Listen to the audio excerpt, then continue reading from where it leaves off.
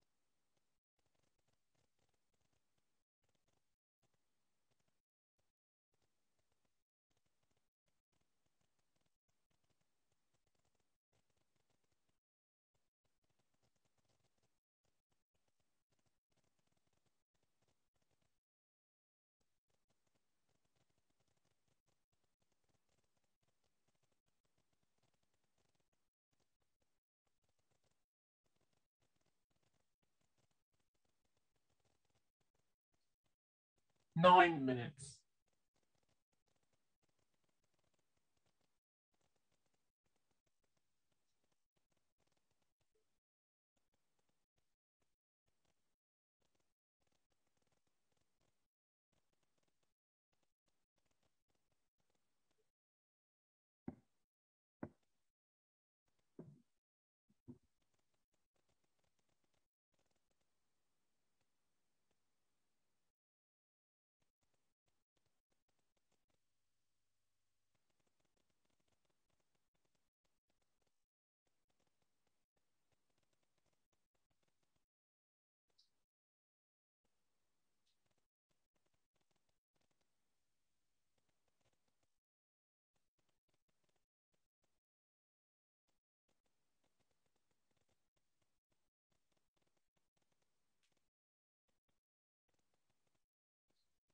Eight minutes.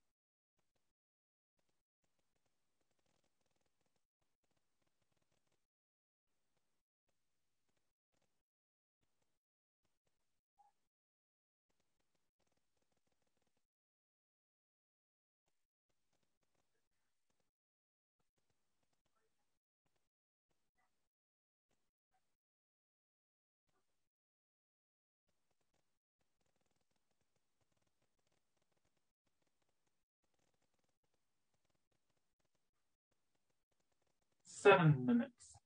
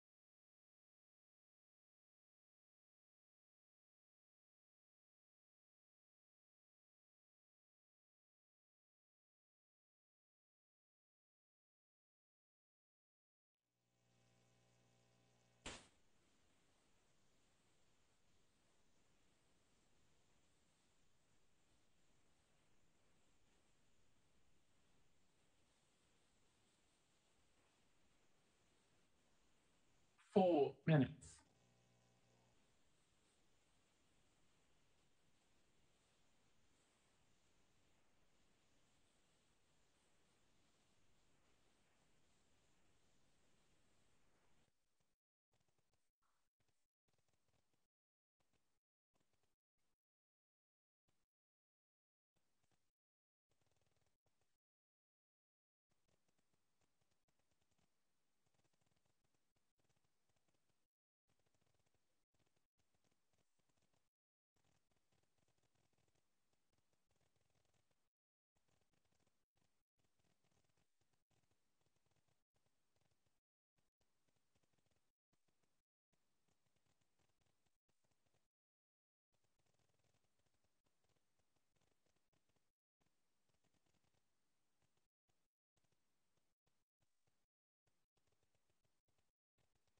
Three minutes.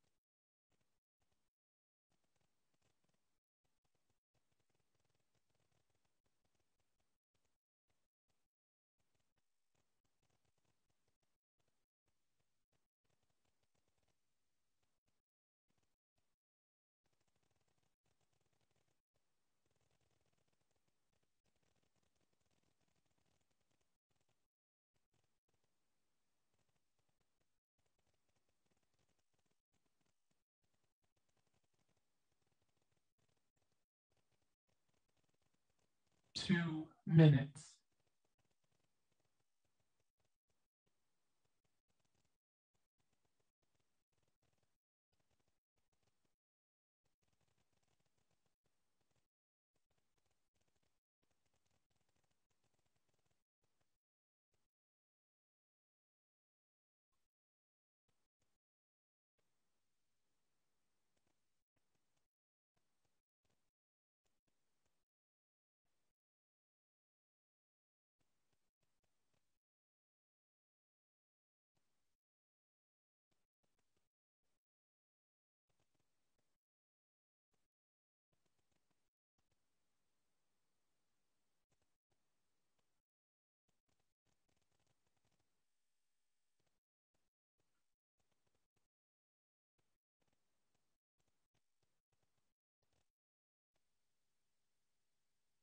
One minute.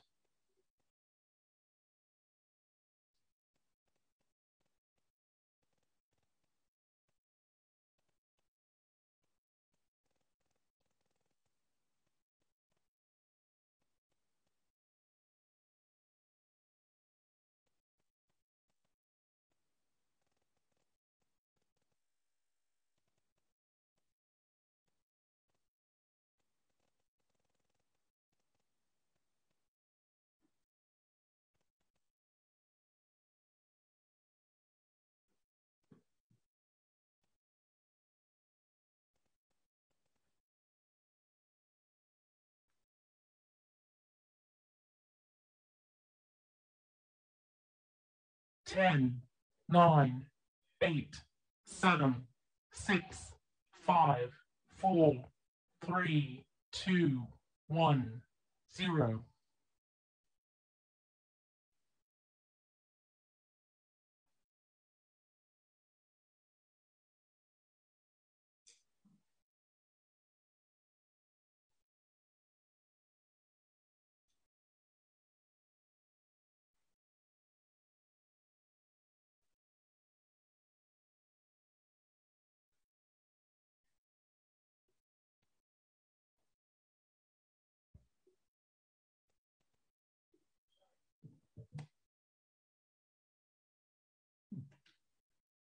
I'm getting all tangled up here. Good morning, everyone. Good morning. Welcome to church. Welcome to First Pres. Um, we are gathered here really to honor Jesus Christ, to give him the glory that's due his name. And so we um, let's turn our hearts and, and uh, our minds and focus on him. Let us pray. Gracious Lord, we thank you for this morning. We thank you for gathering us here in this building and here in spirit. We thank you, Lord, for all your blessings this week. Help us to recall the ways that you have been with us and help us to return with thanks and praise. So bless this time. Fill up your presence and your spirit. We pray in Jesus' name, amen. I invite you to stand, sit, handstands if you like. Let us worship the Lord together.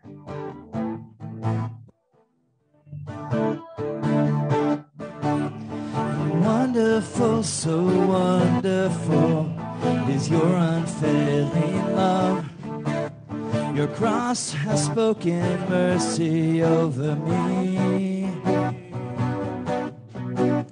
No eye has seen, no ear has heard, no heart could fully know how glorious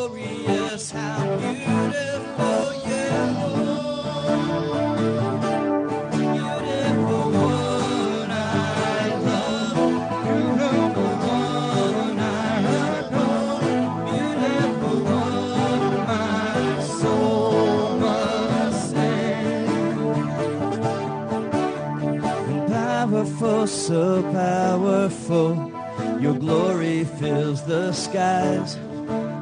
Your mighty works displayed for all to see. The beauty of your majesty awakes my heart to sing.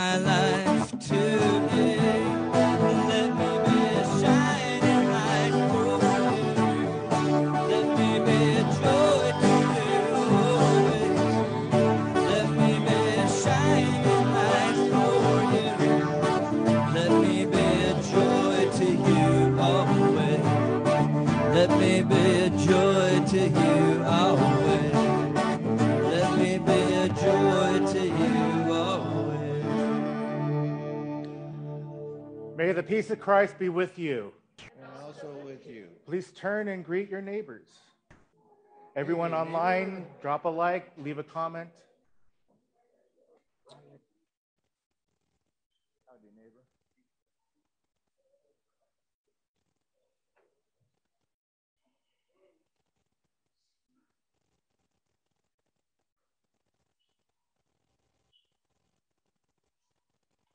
All right, I think it's time for ping.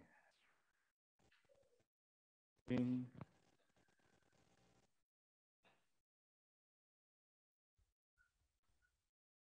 Hey, kids. Hey, Pastor Mark. Hi there, Ping. You look like you're in a familiar place. Yeah, remember a few weeks ago? I went to a pond. That's right. And you were intimidated by a frog and a toad. Yeah, they were kind of mean. I had to run for my life. Why then are you back there, Ping? Well, Jesus tells us to love our enemies and bless those who curse you. That's true. So, how are you going to love your froggy friends? Well, frogs like worms, so I got this giant worm to give to them. Um, Ping, that's not a worm, it's a snake. Eek! A snake! What do I do? Oh no, it's too late. The frog comes. Hey, you, Panda. I thought I told you to beat it. You, you, you did, but I wanted to stop by and give you a treat I thought you would like. Really? What is it? Um, sorry, but it's a snake. I thought it was a worm. I know that snakes usually eat frogs, so so I'll leave now. Wait. How did you know that we like snakes? We frogs in this pond are tough, and we eat snakes for breakfast. Really? Well, there you go then. I'll be on my way. Well, I suppose you could stay for a short bit not too long. And and don't let the other pandas come and mess up our ponds. Well, that's very kind of you. I won't linger too long, and I'll keep this place a secret from the rest of my panda friends. Thanks for the snake, Panda. Ribbit. Boy, that turned out better than I thought. Looks like being kind is the way to go. Jesus said, Do unto others as you would have them do unto you. So if you want to be treated with kindness, then we should treat others kindly too. That's a good lesson for us to learn. So, wh- what are you going to do next, Ping? Hmm. Maybe that guy from last week. I think we got off on the wrong foot. He might need someone to be kind to him now that Russell Wilson got injured. I'll see you next week, kids. All right? Bye. Bye, Ping. Sometimes it's scary to go to your enemies and be kind to them, but Jesus tells us to you know, do unto others as you would have them do to you. And uh, if you want to be people to be kind to you, uh, we should be extending love and kindness to others. Let us pray. Dear God, we thank you that you fill us with love and kindness, and you put people in our lives to share that love and kindness and to show your, your grace. And so we give you thanks. And we pray this in Jesus' name. And all God's children said, Amen. Amen. Today is Mr. Caden's turn in back, and so kids can follow follow him. Well, good morning, everyone. We're getting middle of October. Crazy to think we're in October and it's almost well, we're past the midpoint. There are some cool things that are happening in the next few weeks. Uh, pumpkin carving at Crosswalk is on the 27th. And so the kids will be able to uh, make a mess with the gooey insides and carve pumpkins and be creative, and that's always fun. We're having trunk or treat on the 31st from uh, 5 to 7. Uh, we're uh, having signups for trunks and candy. Uh, the signups are in the coffee hour room on the bulletin board there. And then the week after is the 7th, November 7th, and that is when we have Coffee for a Cause. And um, the proceeds go uh, to Soul to Soul, where we um, try to provide money to buy shoes for some of the kids uh, in need. And so that's always a good event to come out for. Uh, with shoes comes socks, and so we're also doing Socktober, and we'll collect socks to uh, donate them to people in, in need. Today we're having our vital congregations uh, meeting following the service in the coffee hour room. It's week three, and this week we are uh, studying outward incarnational focus. Last week was, I forget all these marks, but last week was um, intentional, authentic evangelism, and the first week is lifelong discipleship formation. My, my brain is getting old, and so and and on top of that, I still have COVID brain, and so it's it's remarkable that I am able to remember these three.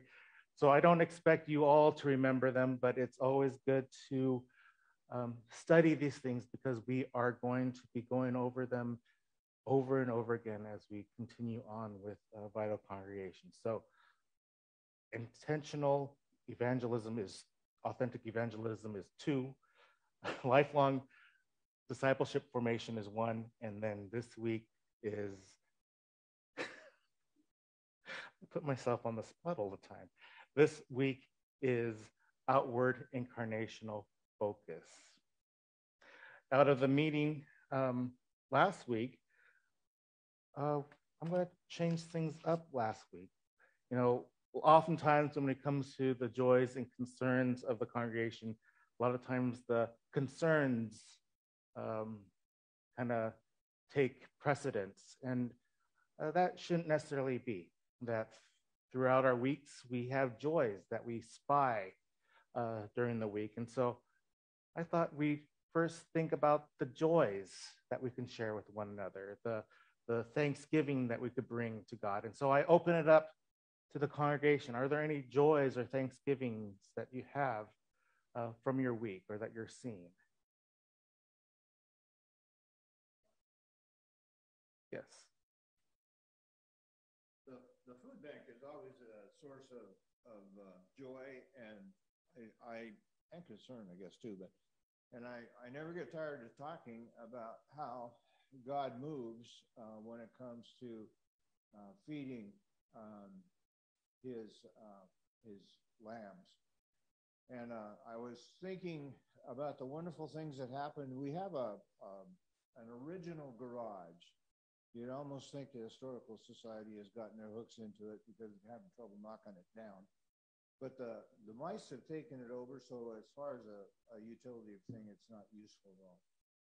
But make a long story short, we have volunteers who have come in and are working on uh, razing it from the inside out. So that's just one of the joys that is happening at your local food bank. Thank you, Don. Always a joy to hear, uh, I would say, success stories coming out of the food bank. Uh, now they have a garage that they are working on and uh, trying to take down to make more space for the food bank. And it's uh, the way, the, the fact that they have to make more room for the food that they're bringing in is such good news because they have, they're over, they're overflowing. My cup overflows and uh, the Lord is indeed doing a, a, tremendous amount of work through Don and Sharon and all the volunteers at the food bank. So, any other joys, Michael?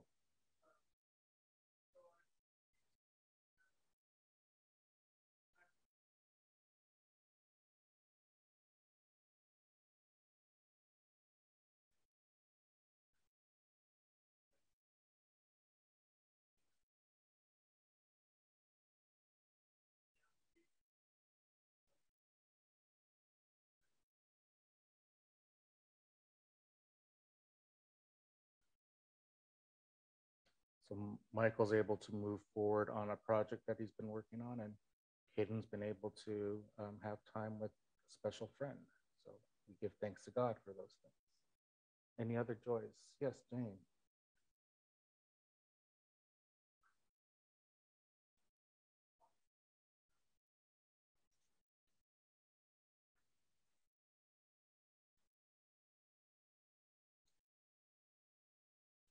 It's a blessing to have the beauty of fall and not having to uh, worry about the lawn so much. Anything else? Yes, Nikki.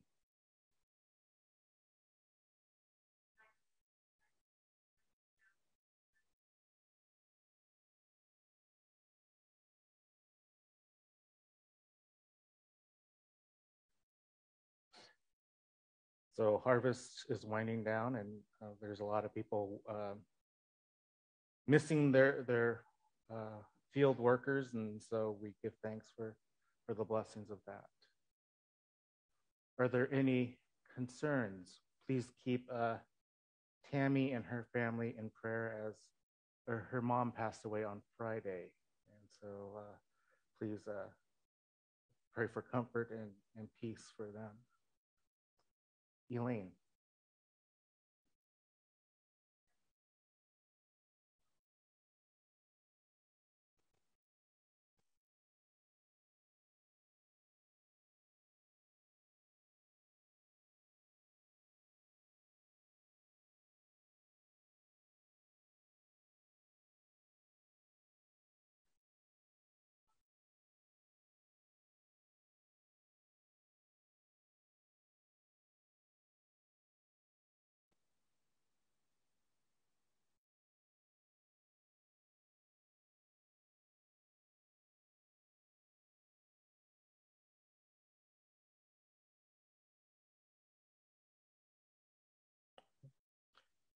Can you share her first name?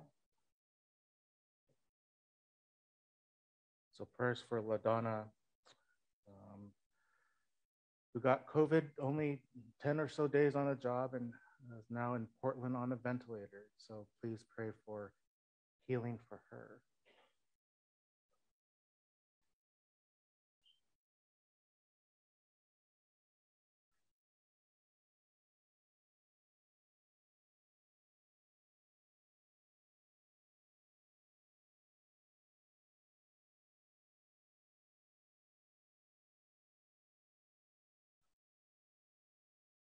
Delbert. Okay. Pray for a family friend, uh, Delbert. He passed away with uh, from cancer, and uh, pray for for the family there. Any other joys or concerns? Yes.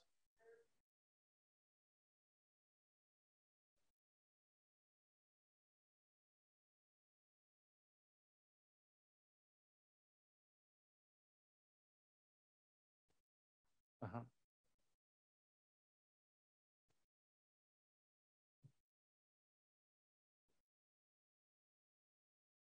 So prayers for Rob Hatfield.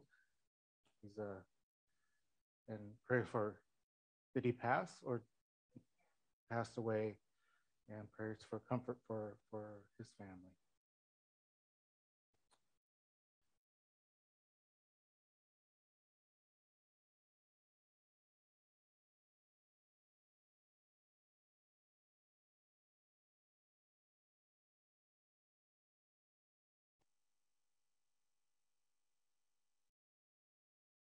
So pray for uh, Bruce's family as he, he passed away. Anything else? Well, let us pray together.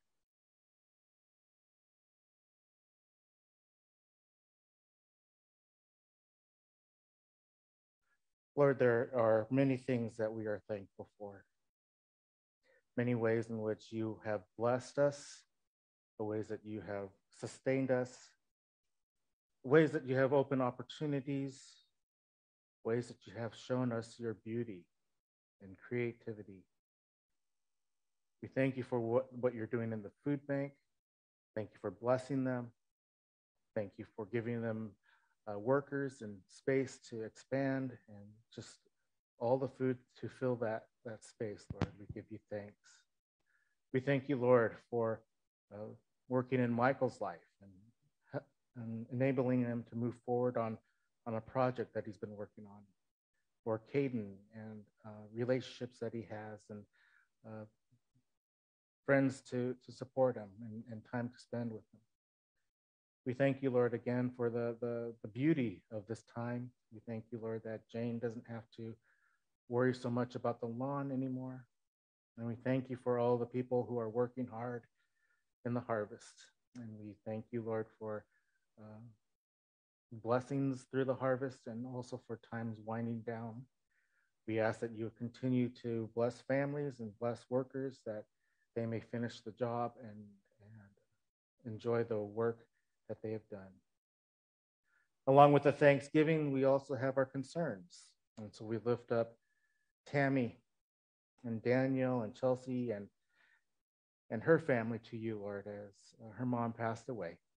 We pray, Lord, that you would bring comfort to them. I pray that you would give them assurance, knowing that um, she trusted in you and that uh, she is away, uh, she has um, is, free from the pain and, and, suffering she endured, and she's enjoying uh, rest and eternity with you, Lord. So we give you thanks, and we uh, lift up prayers for for for Tammy.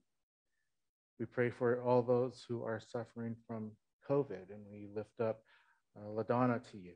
We pray that you would bring uh, healing into her life, that you give her her strength um, as she's on the, the ventilator, that you'd bring her to recovery, Lord, and, and, and that you would um, bring that healing, that miracle, um, that she may be able to breathe again and, and breathe, breathe, breathe freely, Lord. We pray for uh, the family of Delbert.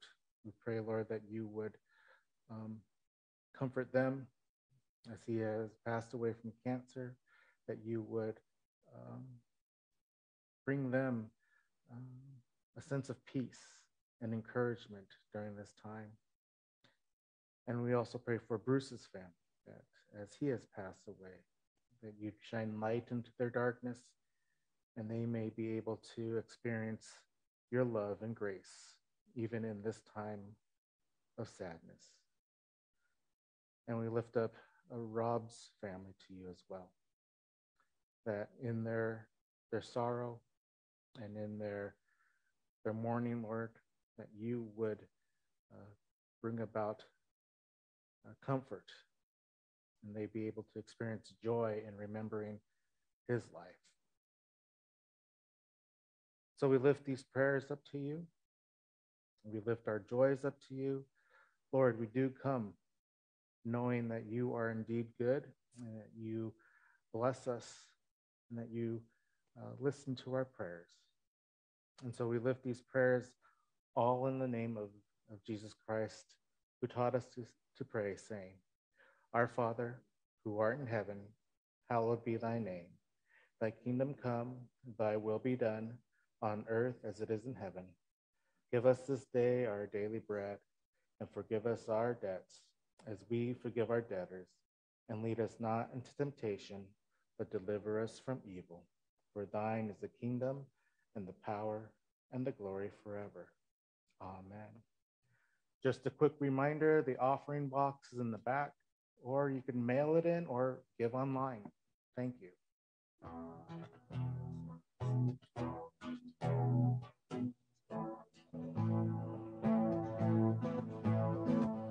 Praise Him, praise Him from the heavens, and praise Him in the heights up above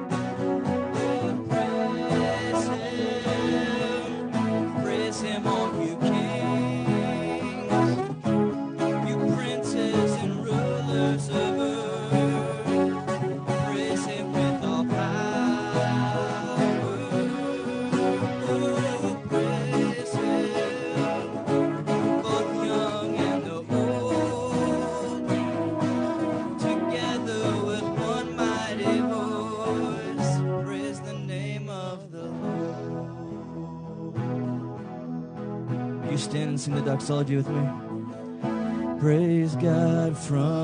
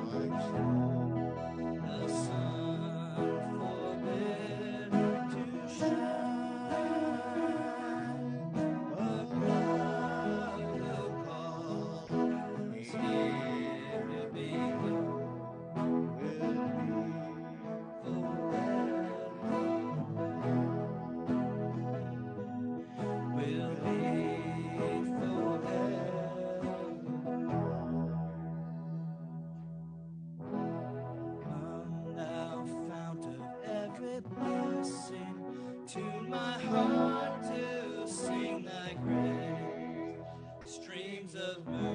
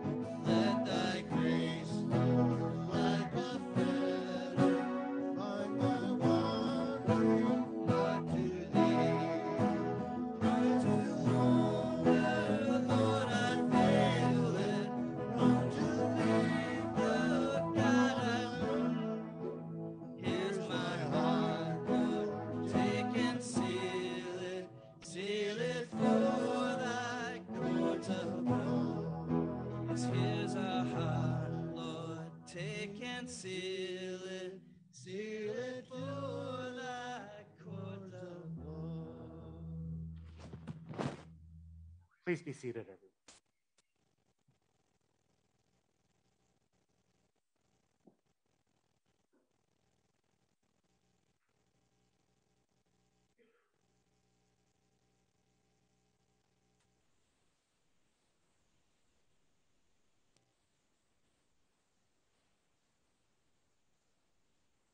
Today's scripture reading comes from Luke chapter 6, verses 27 through 36. Luke 6, 27 through 36. But I say to you that listen, love your enemies, do good to those who hate you, bless those who curse you, pray for those who abuse you. If anyone strikes you on the cheek, offer the other also. And from anyone who takes away your coat, do not withhold even your shirt. Give to everyone who begs from you, and if anyone takes away your goods, do not ask for them again. Do to others as you would have them do to you. If you love those who love you, what credit is that to you? For even sinners love those who love them. If you do good to those who do good to you, what credit is that to you? For even sinners do the same. If you lend to those from whom you hope to receive, what credit is that to you? Even sinners lend to sinners and receive as much again. But love your enemies, do good, and lend, expecting nothing in return. Your reward will be great, and you will be children of the Most High, for he is kind to the ungrateful and the wicked. Be merciful, just as your Father is merciful. Luke 6, 27 through 36. And let us pray.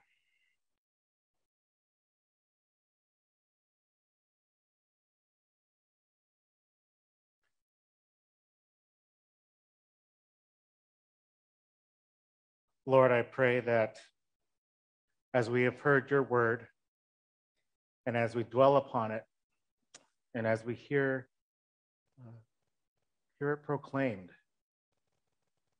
that you would be stretching our hearts, that you would be expanding our capacity to love and expanding our circles of love so that we may include those who are difficult to love. So do that work of transformation within us, open our eyes to see uh, those who you call us to and see the opportunities to show mercy and love to those we come across. We pray, Lord, in Jesus' name. Amen.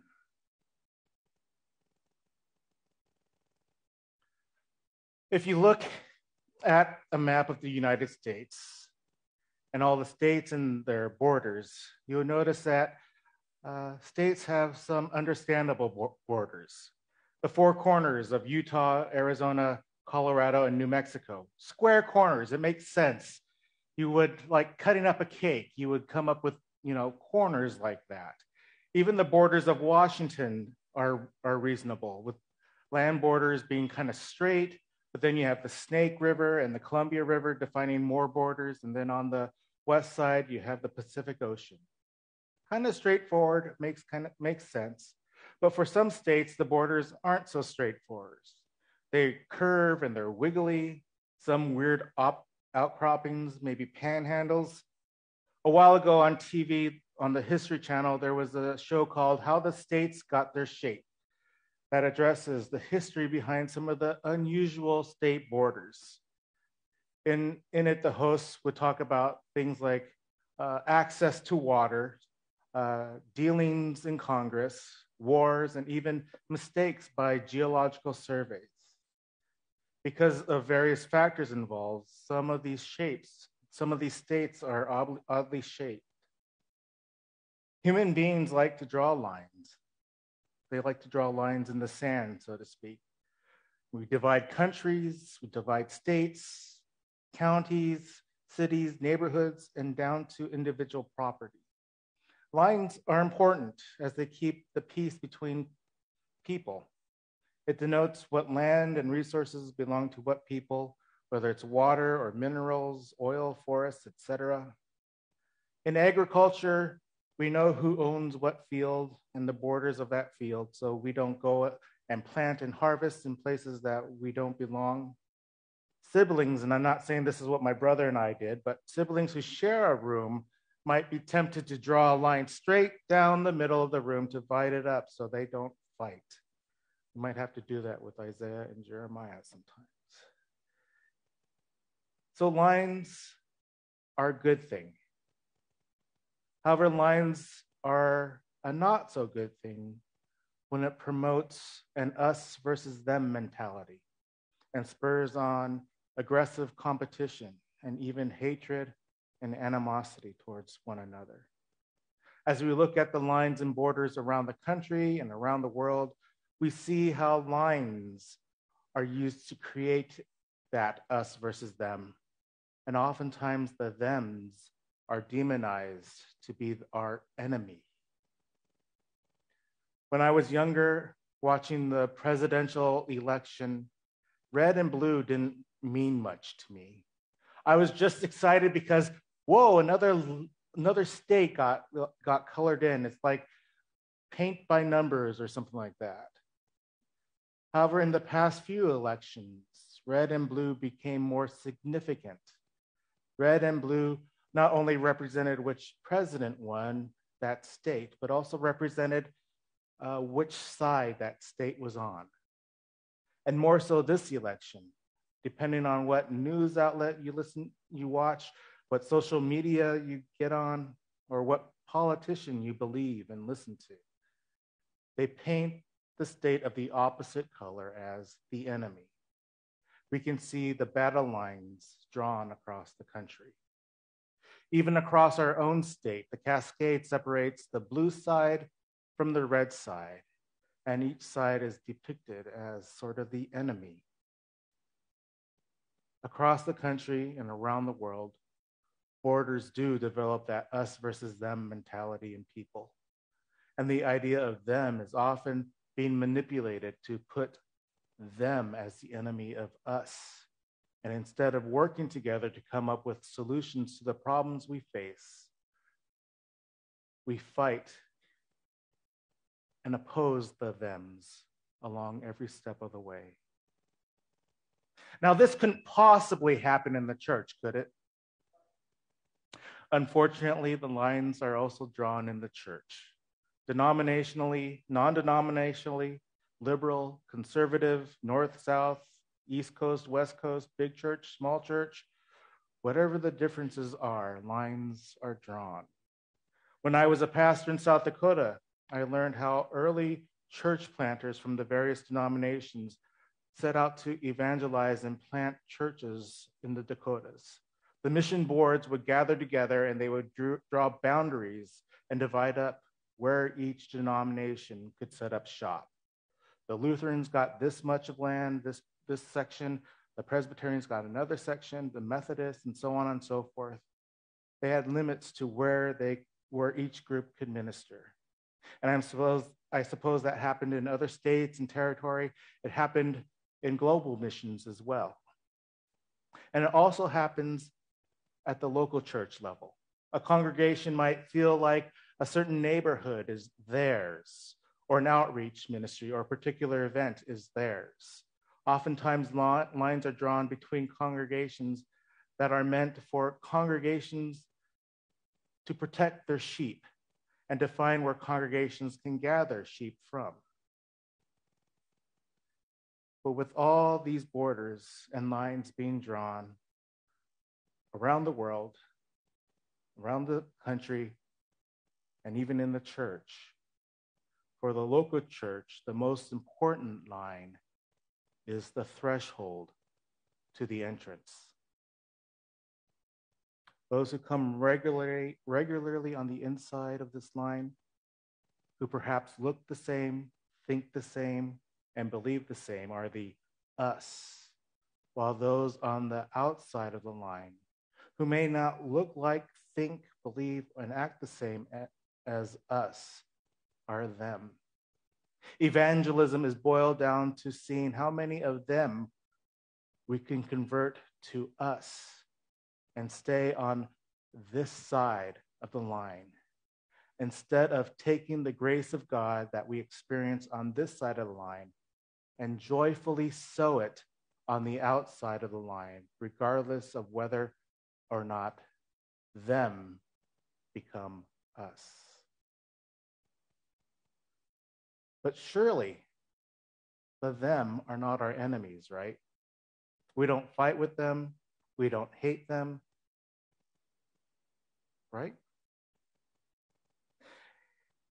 in the weekly email this week. And by the way, if you don't get the e- weekly email and you want to receive it, just give me your email address and I'll add you to, le- to the list. But anyway, in the weekly email, I did a little musing over this week's passage, thinking about the question who is my enemy? Since Jesus tells us in this passage to love our enemies. Now, I don't believe I have a mortal enemy like the Darth Vader type person in my life.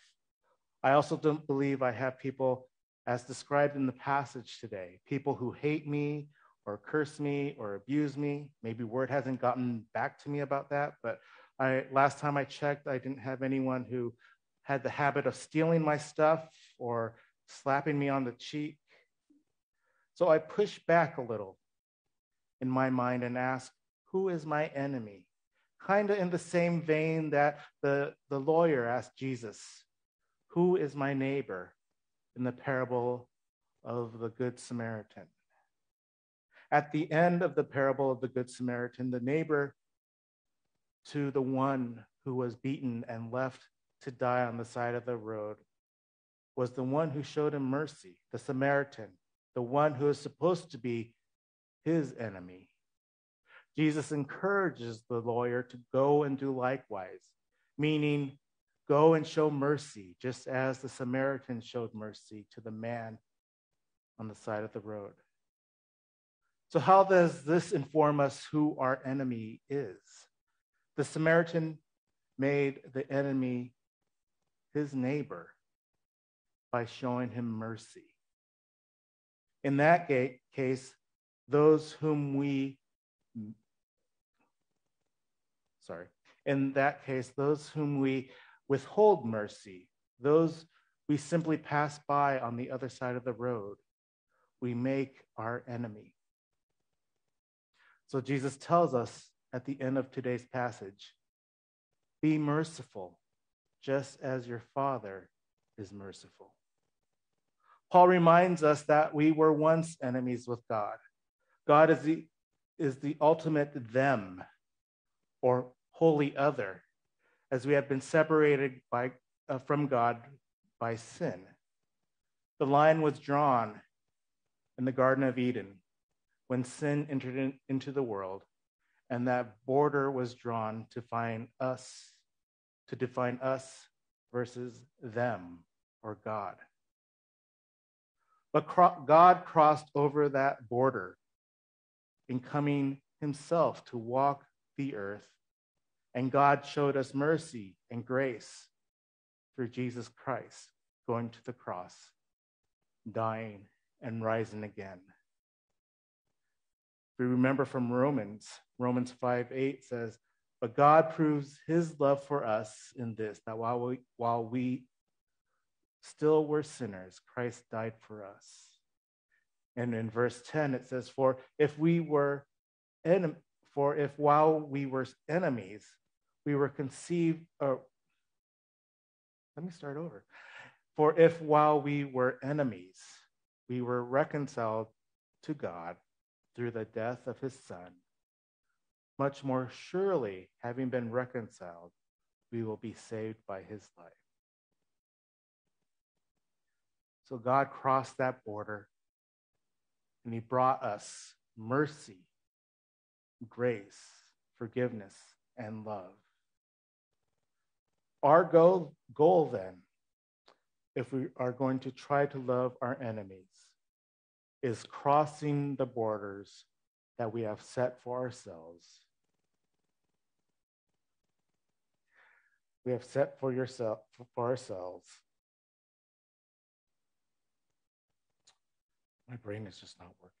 So, our, go- our goal then is we're going to love our enemies, is to cross over that borders that we have set for ourselves and live out God's mercy and grace in how we speak and treat others who are not us, people we simply pass by every day, so that they too can know Jesus as Lord, and so that they too can experience the love that we have going on in this church family, or even experience the love of other churches, church families, as long as they are able to see and taste that the Lord is indeed good and want to experience more of that in some faith community.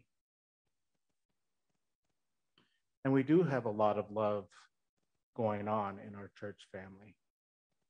Loving each other is good. But the thing is, love needs to extend outward, outside of ourselves. God is love, and God is community in the Trinity Father, Son, and Holy Spirit.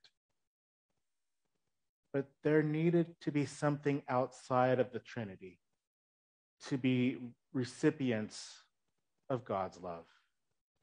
And so God created humankind so that God can extend love in a caring relationship with something that is outside of himself. Even when humankind rebelled and hurt that relationship, God continued to reach out and love us, showing us time and time again mercy and grace. We are a community of love here in this congregation. We have a lot of love for one another. But that love needs a recipient outside of our community, outside of ourselves. Jesus says in verses 32 through 33, he says, If you love those who love you, what credit is that to you? Or if, uh, for even sinners love those who love them. If you do good to those who do good to you, what credit is that to you? For even sinners do the same.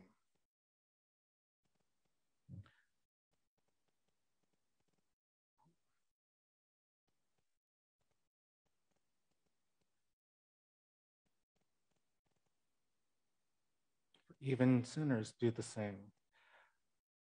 We don't have to say sinners in there, but we could put any group, any community in there who are not sinners and get the same idea.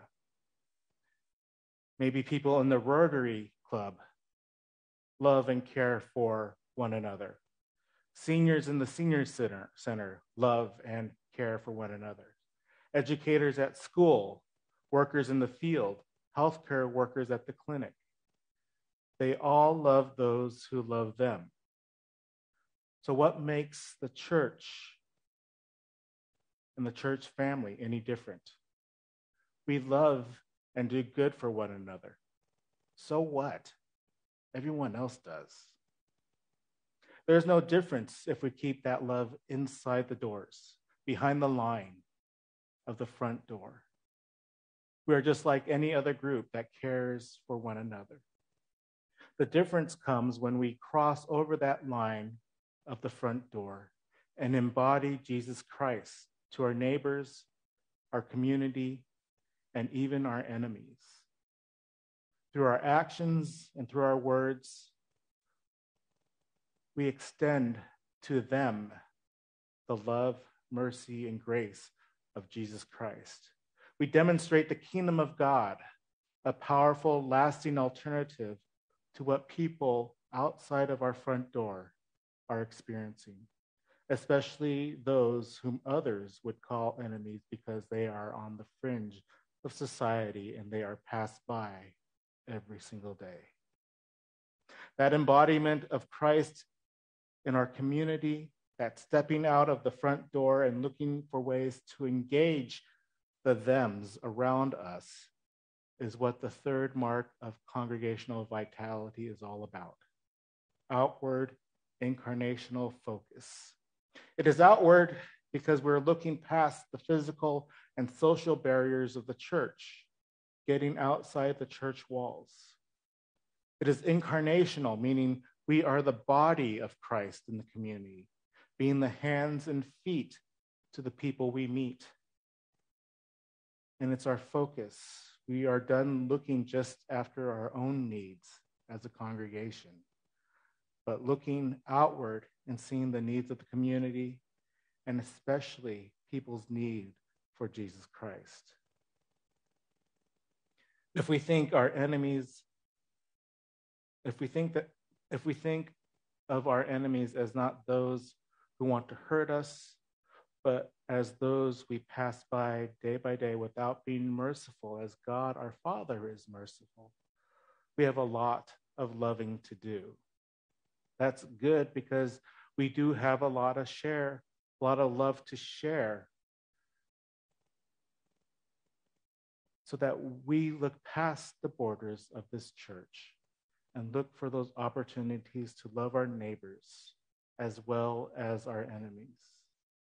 So let us look at people not as them, but as people who need to know Jesus Christ and the love and mercy and grace he offers. Please pray with me.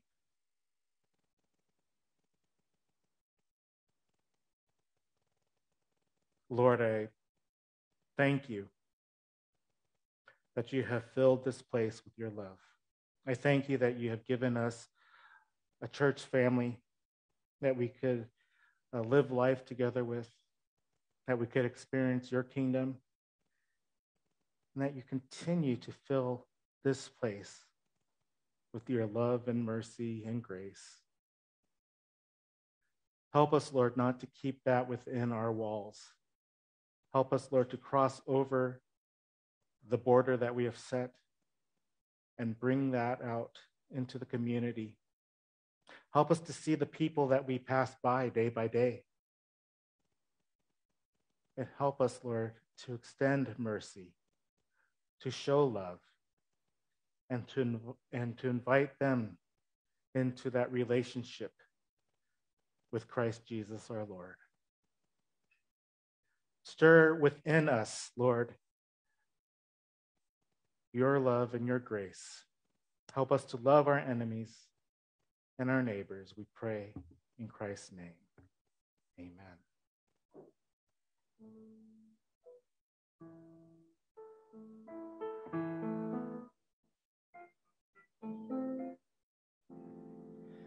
You are God of this city. You're the king of these people. You're the Lord of this nation. You who are. You're the light in the darkness. You're the hope to the hopeless. You're the peace to the restless. You who are. There is no one like our God. There is no one like you, God.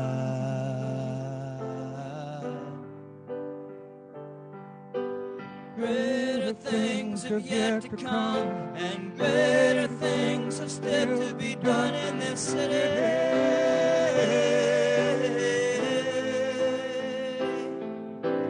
Greater things have yet to come, and greater things have still to be done here. You're the Lord of creation, the creator of all things. You're the King above all kings. You are. You're the strength in the weakness. You're the love to the broken. You're the joy in the sadness. You are. There